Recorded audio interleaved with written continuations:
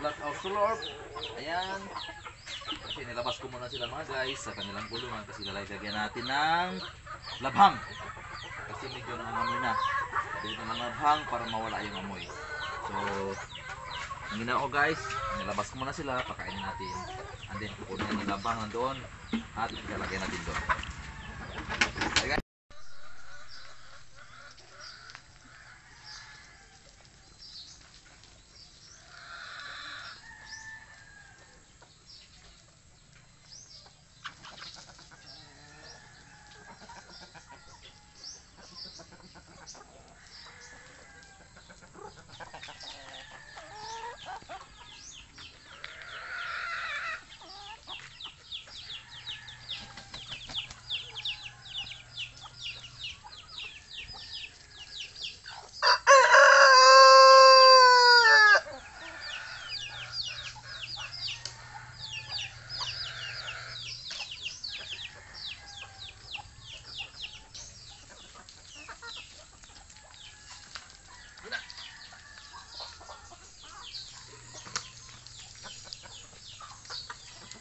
Malingaw ako magtakbo dyan sa malaki.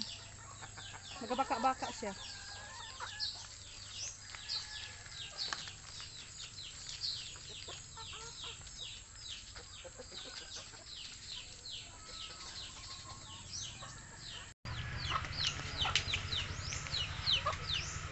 Ano guys, yung labhang na ano ko. Dito, dito. Sunod mo. Oh. Dito kami naman.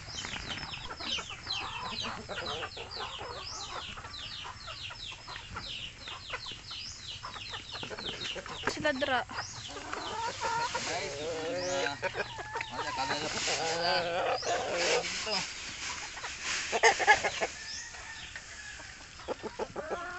Ano guys?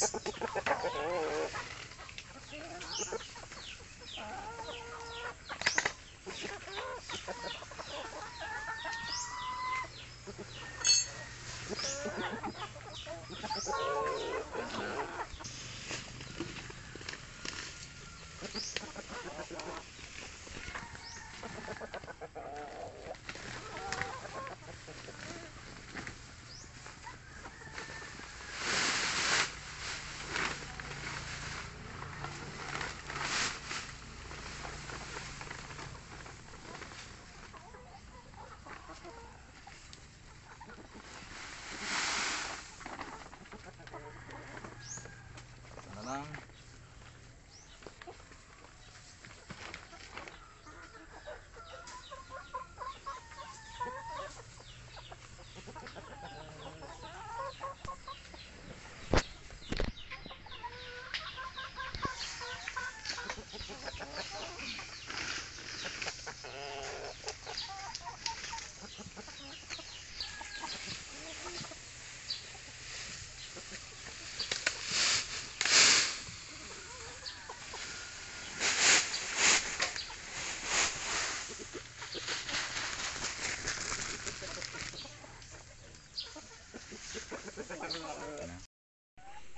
Ayan mga guys, oh. Ganyan lang ang paglagay ko ng labhang. So yung mga manok na ang bahalang magkalat nito. Ayan guys. Oh. So nandito pala yung aking mga anak guys. Ay, isang anak guys. Uh, Mag-harvest siya ng itlog mga guys. Titay mo lang anak kung ilan yung itlog nila ngayon.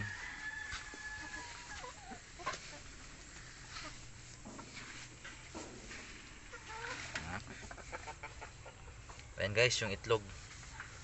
Ayan.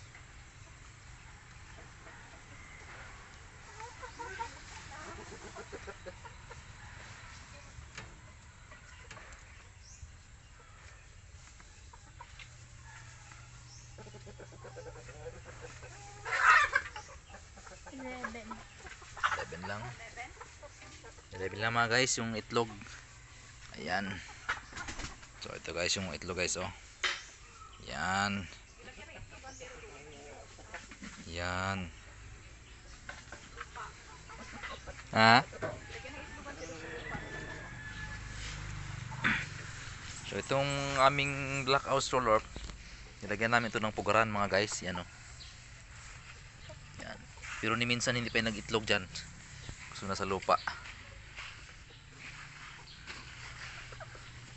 So ayan guys, kasi minsan dito sila nang itlog sa mga ano lang. Tingnan natin. So wala guys. So ayan guys. So dahan-dahan na lang ikalat 'yan. So ngayon, wala na yung amoy, no? Nawala yung amoy mga guys. Yan lang ginagawa natin tol, libre naman yung ano, labhang. Mas mawala yung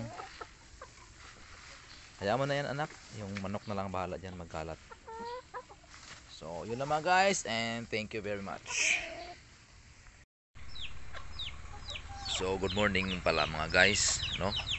So, tinignan ko ngayon yung uh, nilagay natin kahapong ano, labhang kung ikinalat man ng mga manok.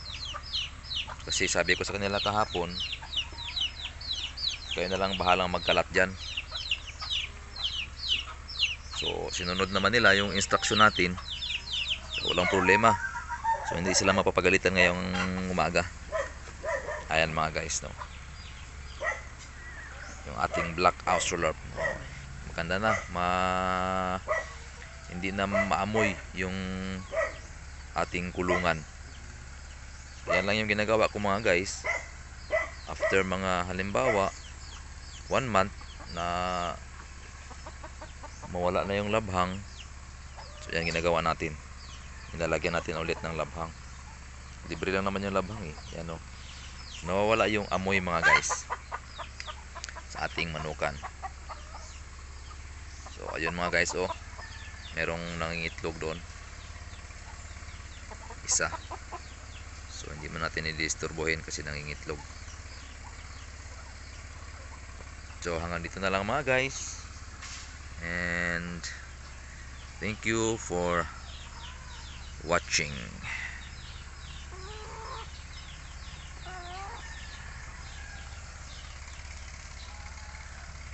Hubbard.